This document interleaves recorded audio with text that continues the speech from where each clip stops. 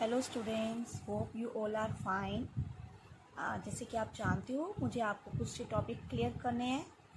Practically आपको समझाने हैं insert new sheet delete new sheet rename sheet relative reference absolute reference mix reference and today today function okay तो first of all first topic is how to insert a new sheet आपको सबसे last में मेरी screen पे plus का symbol दिखाई दे रहा है। आप जैसे इस पर क्लिक करेंगे, आपकी एक शीट फाइव इंसर्ट हो जाती है। एक और वे है। आपको क्या करना है? राइट क्लिक करना है और यहाँ पे इंसर्ट का ऑप्शन आएगा।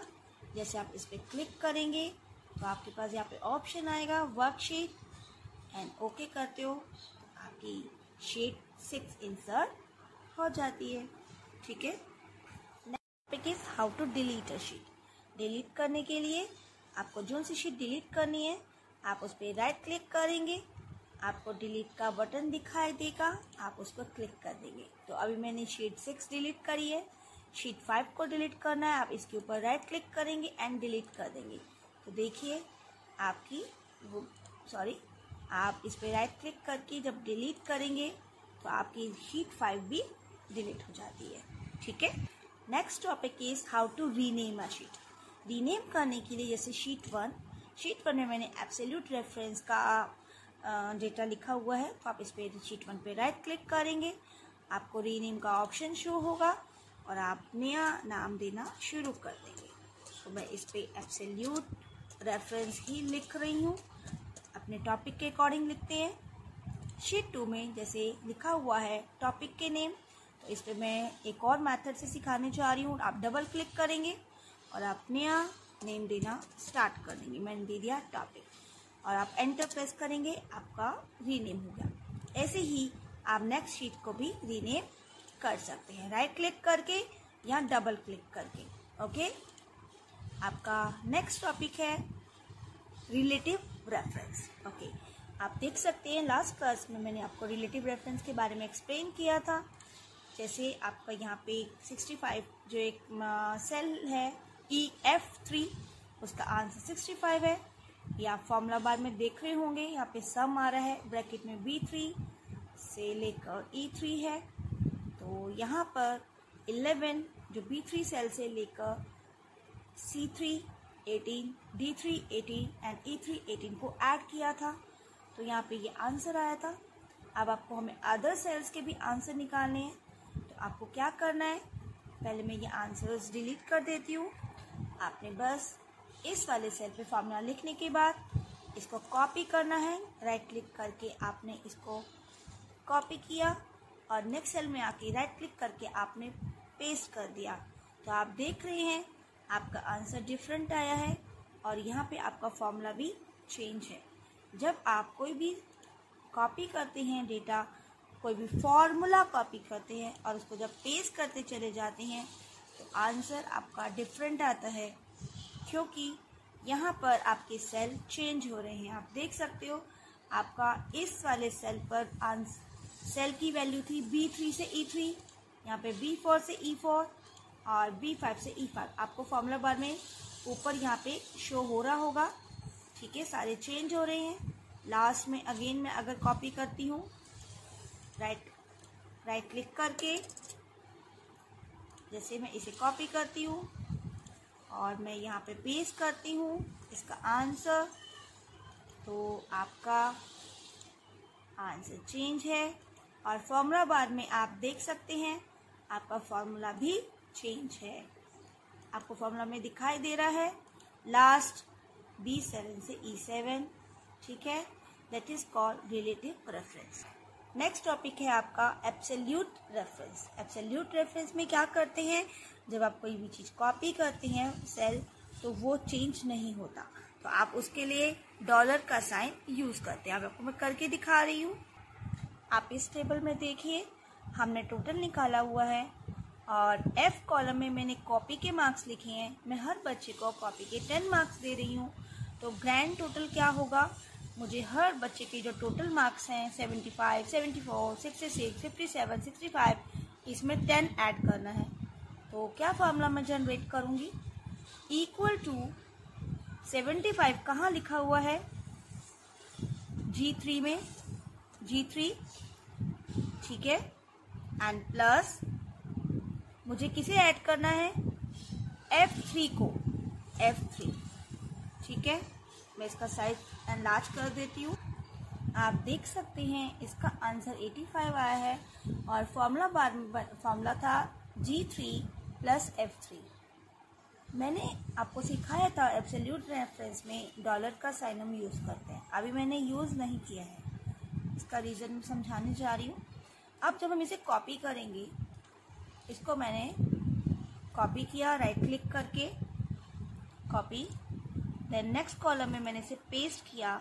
तो आप आंसर क्या देख रहे हैं? आंसर सेवेंटी फोर है। बल्कि होना क्या चाहिए था? It should be eighty four क्योंकि हम तो सेवेंटी फोर में टेन ऐड कर रहे हैं। अब फॉर्मूला क्या बना? G four and F four क्योंकि सेवेंटी फोर जी फोर में है और यहाँ पर एफ़ फोर है। हमें एफ़ फोर नहीं हमें क्या ऐड करना था? एफ़ थ्री दैट मीन्स आपको मैं क्लियर करने देना चाहती हूँ। हमें हर बार टोटल में हमें कॉपी जो है कॉपी के जो टेन मार्क्स हैं, वो एफ़ थ्री है। हमें हमेशा एफ़ थ्री ही प्लस करना है।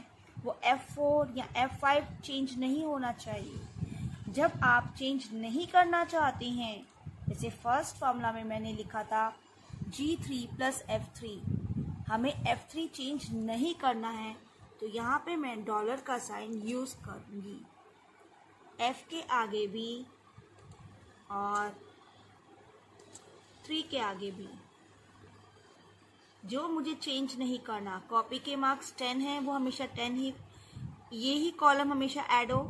That means G three plus F three G four plus F three G five plus F three G six plus F three F three का भी change नहीं होना चाहिए। बाकी कॉपी पेस्ट करने पे चेंज हो जाने चाहिए। ये लिखने के बाद मैं एंटर प्रेस करती हूँ। Answer is on the screen और जब मैं इसे कॉपी करती हूँ और यहाँ पे पेस्ट करती हूँ तो आप आंसर देखेंगे 84 हो गया है।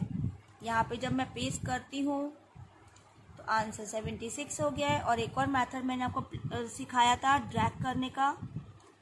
तो answer sixty seven and answer is seventy five.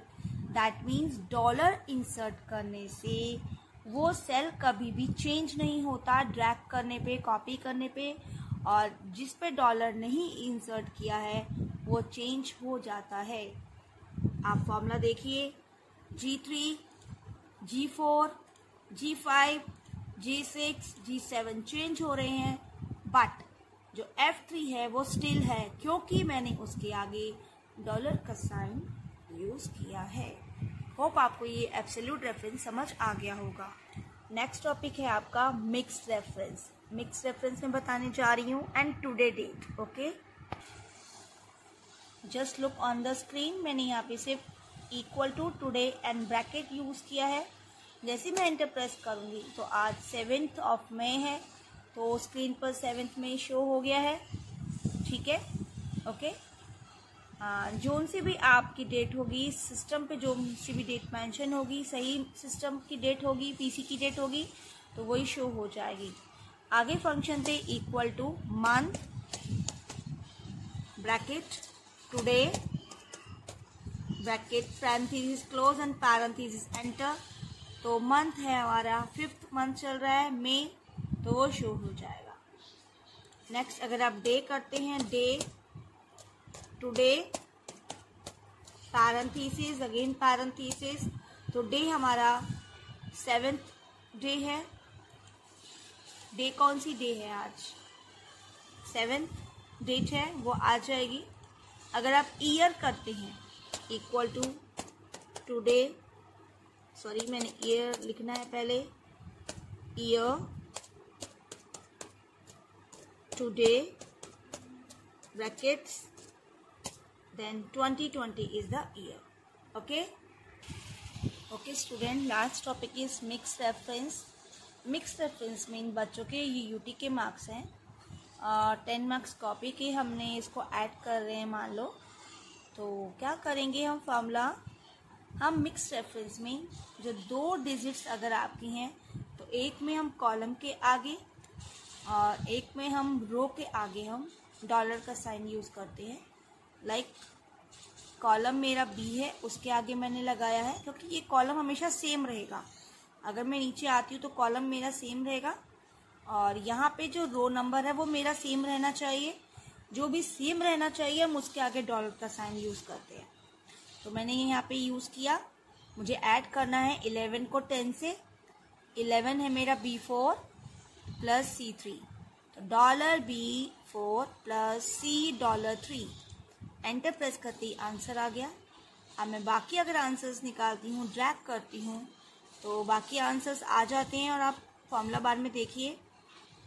B four आपका बी फाइव हो गया है but C three C three ही रहा है। दैट मीन्स जब भी कभी आप कॉलम के आगे लगाते हो तो कॉलम सेम रहता है, नंबर, रो नंबर चेंज हो जाता है। और जब कभी आप रो के आगे लगाते हो तो थ्री सेम रहता है और कॉलम चेंज सेम हो जाता है। देखिए, यहाँ पर आप देख सकते हैं बी सिक्स सी थ्री है बी सेवन सी थ्री है और बी एट सी थ्री है। ठीक है? ये आपका मिक्स रेफरेंस आपके सारे टॉपिक इस चैप्टर के कंप्लीट हो गए हैं। होप आप इन वीडियोस को अगेन एंड अगेन देखिए प्रैक्टिकल की प्रैक्टिस कीजिए। All the best